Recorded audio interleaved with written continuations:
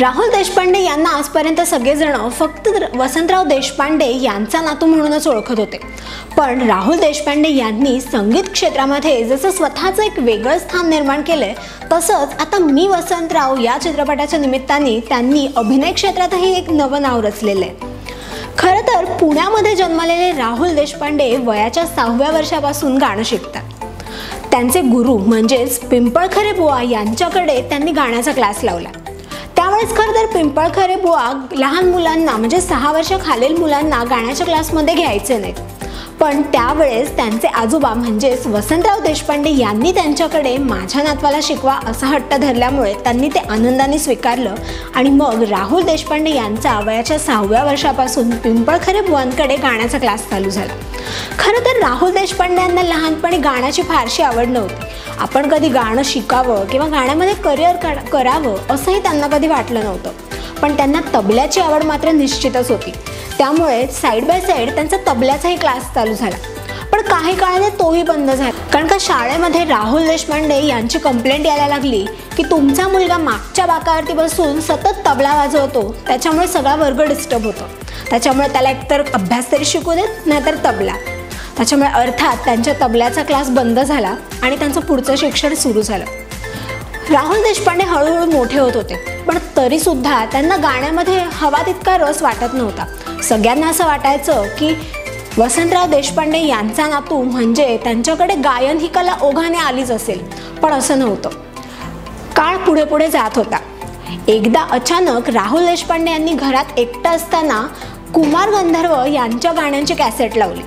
त्या गाण्याने ते प्रभावित झाले. आणि मग पुढचे दोन दिवस त्याच गाण्याच्या कॅसेट्स ऐकून त्यांनी ती गाणी शब्द सगळं तोंडपाठ केलं. त्यांना हळूहळू गाण्यामध्ये रस वाटायला लागला. अशाच एका कार्यक्रमाच्या वेळेस ज्यावेळेस ते पु ल देशपांडे यांना भेटले होते त्यावेळेस पु ल यांनी त्याला सांगितलं की आपल्या पुण्यामध्ये किंवा आपल्या महाराष्ट्रामध्ये डॉक्टर इंजिनियर सी ए ह्या सगळ्या पदव्या घेणारे अनेक लोक आहेत. पण तुझा जन्म हा फक्त आणि फक्त गाण्यासाठीच झाला आहे त्याच्यामुळे तू गाणं सोडू नकोस. त्यांच्या या वाक्यानंतर राहुल देशपांडे यांनी त्यांचा निर्णय बदलला आणि त्यांनी गाण्यामध्येच करिअर करायचं ठरवलं. काळ पुढे पुढे जात होता? राहुल देशपांडे यांचा नागपुरामध्ये गाण्याचा एक प्रयोग लावण्यात आला. नागपूर म्हणजे त्यांचे आजोबा वसंतराव देशपांडे यांचं जन्मस्थान. त्याच्यामुळे लोकांनी कौतुकाने आणि आदराने त्यांच्या कार्यक्रमाला गर्दी केली. आणि अर्थात वसंतरावांचा नातू म्हटल्यावर त्याचं गाणं हे त्यांच्यासारखंच असणार असं लोकांनी गृहित धरलं होतं. पण झालं उलटच. राहुल देशपांडे यांच्या गाण्यामध्ये प्रत्येक व्यक्तीला कुमार गंधर्व यांचा भाग झाला. त्याच्यामुळे हळूहळू लोक कार्यक्रम संपल्यावर ते असं म्हणू लागले की नातू वसंतरावांचा पण शब्द मात्र कुमार गंधर्वांचे.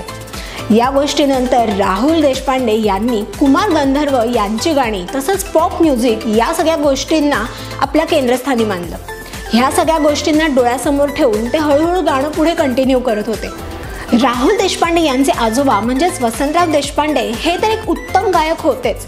पण आज राहुल देशपांडे हे नाव संगीत क्षेत्रामध्ये अत्यंत आदराने घेतलं जातं. आणि यामागे आहे ती त्यांची साधना जिद्द चिकाटी आणि त्या गोष्टीसाठी घेतलेली मेहनत. एखाद्या गोष्टीमध्ये आपल्याला रस नसताना सुद्धा त्या गोष्टीची आपोआप आवड निर्माण करून त्यामध्ये स्वतःचं करिअर घडवणं हे सोपं नसतं. एकेकाळी गाणं शिकण्याचा कंटाळा करणाऱ्या राहुल देशपांडे यांना मी वसंतराव या चित्रपटासाठी पुरस्कारही मिळून गेला. आणि आज त्यांचं नाव आणखी आदराने सिनेसृष्टीमध्ये घेतलं जातं. रसिका हो कलाकृती मीडिया म्हणजे मनोरंजनाची लयलूट. मनोरंजन क्षेत्रातील किस्से व घडामोडींचा आस्वाद घेण्यासाठी कलाकृती मीडिया या यूट्यूब चॅनलला सबस्क्राईब करा आणि व्हिडिओ लाईक करा.